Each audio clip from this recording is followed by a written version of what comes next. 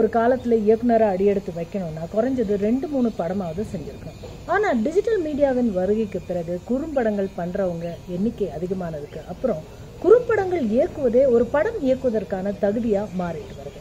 ஒரு முழு நீள திரைப்படம் இயக்குவதற்கு இந்த தகுதி மட்டும் போதுமா? வணக்கம் இது ஹாட் அண்ட் கூல் மீடியா வழங்கும் hot and cool cinema review இன்னைக்கு திரை விமர்சனத்தில் நம்ம பார்க்க போற படம் ராணா இயக்கத்தில் ஹிப்ஹாப் ஆதி நடித்து வெளிவந்திருக்கும் நான் சிரித்தேன் ஆதிக்கு எமோஷனல் ஆனாலோ இல்ல சோகம் ஆனாலோ சிரிக்கும்படியான ஒரு வினோதமான வியாதி. இதனால அவர் படுற அவஸ்தைகள் என்னென்ன அப்படிங்கிறது தான் நான் சிரித்தால் படத்தோடைய ஒன் ஆதி கடந்த இரண்டு படங்கள்ல கிடைச்ச வெற்றியின் மகிழ்ச்சியை படம் முழுவதும் முகத்தில் காட்டும்படியான ஒரு கதாபாத்திரம். அப்ராணியாக எப்பொழுதுமே சிரித்த முகத்துடன் வந்து அனைவரிடமும் மாட்டிக்கொண்டு விழிக்கும் போது நம்மையும் கொஞ்சம் சிரிக்க வைக்கிறாரு.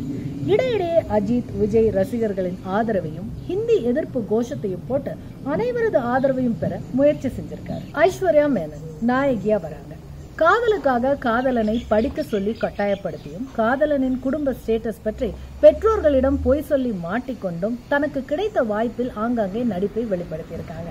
இடையிடையே பாடல்களுக்கு நடனமாடியும் மகிழ்ந்திருக்காங்க. பூந்தமல்லி ரவுடியாக கே எஸ் ரவிக்குமார். அவரை போட்டு தள்ள முயற்சி செய்யும் மற்றொரு ரவுடியாக ரவி மரியா. அவரின் கைகூலியாக ஷாரா.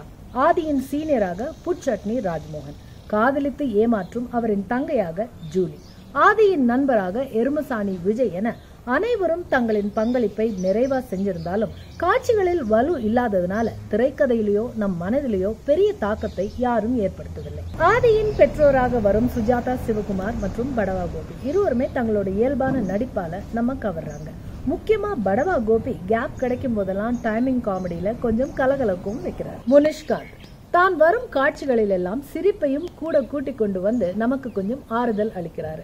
கடை ஒன்றில் அவர் துப்பாக்கியை காட்டி மிரட்ட அவருடைய துப்பாக்கிக்கே அவர்கள் பில் போட்டு தர அதை வாங்கி கொண்டு செல்லும் போது திரை அரங்கை சிரிப்பலைகளால் அதிர வைக்கிறார். யோகி பாபு ரசிகர்கள் அவரிடமிருந்து நிறைய எதிர்பார்க்கிறார்கள் என்பது அவர் வரும்போதெல்லாம் திரை அரங்கில் கைத்தட்டி விசில் பறக்கும் ஓசையில் தெரிந்தாலும் அவர் அதை கண்டுகொள்ளாமல் பெரும்பாலான படங்களில் ஒரு சில காட்சிகளில் மட்டுமே நட்புக்காக வந்து தோன்றி மறைவதை இனிமேலாவது தவிர்ப்பாரா?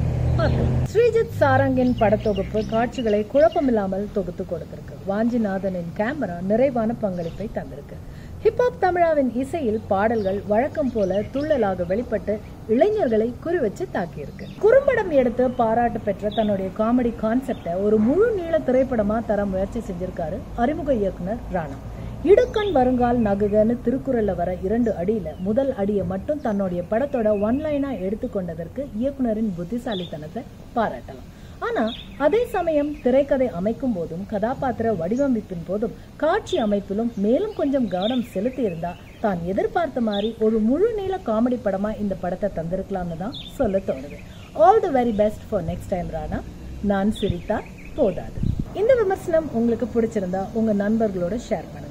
ரொம்ப பிடிச்சிருந்தா சப்ஸ்கிரைப் பண்ணுங்க லைக் பண்ணுங்க. மீண்டும் ஒரு திரை விமர்சனத்தில் சந்திக்கும் வரை உங்களிடமிருந்து வணக்கம் கூறி விடைபெறுவது உங்கள் பிரியதர்ஷினி. நன்றி வணக்கம்.